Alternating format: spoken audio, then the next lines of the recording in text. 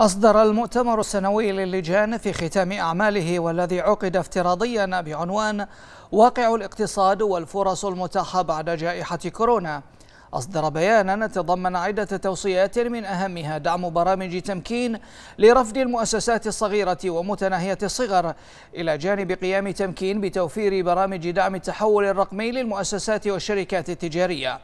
كما أقرت التوصيات إعادة صياغة العلاقة بين الشركات الكبيرة والصغيرة والمتوسطة بتفعيل الشراكات الاستراتيجية. وأوصى المؤتمر على تعزيز فرص البحث العلمي وضرورة ربطها بالواقع العملي والفرص المتوفرة واحتياجات سوق العمل. كما دعا المؤتمر إلى حث القطاعات الاقتصادية للتحول التكنولوجي وتشجيع الاستثمار الأجنبي والتوسع في تصدير المنتجات الوطنية إلى خارج البلاد بالتعاون مع مركز صادرات.